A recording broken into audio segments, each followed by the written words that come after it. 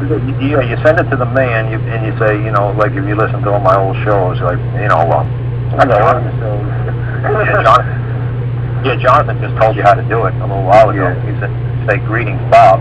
I know, I know, you know, I know, um, I know you're a man, and I believe at times you act as the superintendent of whatever, or you act as the chief executive of, or that you are and I believe that you have subordinates under you that are making a claim that, you know, something is due to them or due to your agency or due, you know, is that true? And if it is true, you know, you know, you know, show me how I'm, you know, show me how I'm liable for the bill. Show me how I'm liable for this alleged debt. Show me.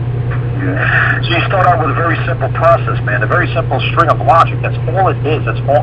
See, like I said, before I, you know, I didn't graduate. I didn't graduate. My like I said, my sister's coming in here, man, and she'll tell you, man. Karl didn't graduate freaking high school until he was in like uh, I, I went to uh, college for math and music to compose music and to uh, um, for math. I was great at math, so I'm a very logical person. And math and music, composing music is something you could be totally stone deaf, and you could compose music, math.